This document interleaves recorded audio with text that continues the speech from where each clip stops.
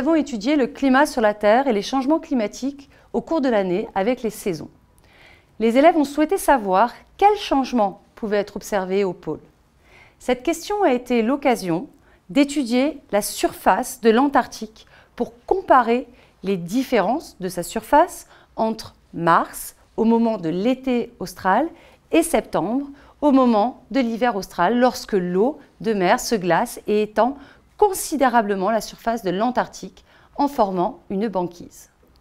Cette activité a été proposée au moment où la classe étudiait la notion d'air en mathématiques.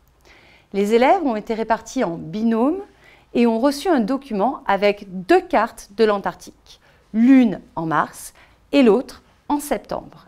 Ces cartes étaient quadrillées. La consigne était de mesurer les airs de l'Antarctique à deux différents moments de l'année et de les comparer.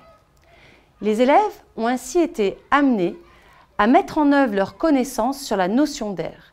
Ils ont utilisé la méthode de l'encadrement en comptant les carreaux pleins et les carreaux non pleins pour réaliser un encadrement de la surface de l'Antarctique.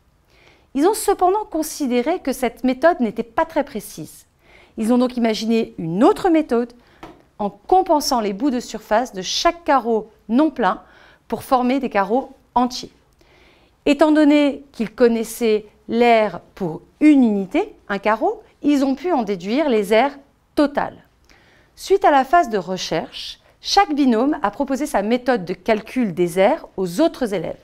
Cette mise en commun a permis de développer leur capacité de démonstration, d'argumentation et de réflexion. Afin de faciliter la mise en commun, j'avais préparé en avance une reproduction du document en grand format au tableau et nous avons pu ainsi aboutir, suite à la confrontation des différentes méthodes et hypothèses de calcul d'air, à une conclusion élaborée par l'ensemble du groupe classe.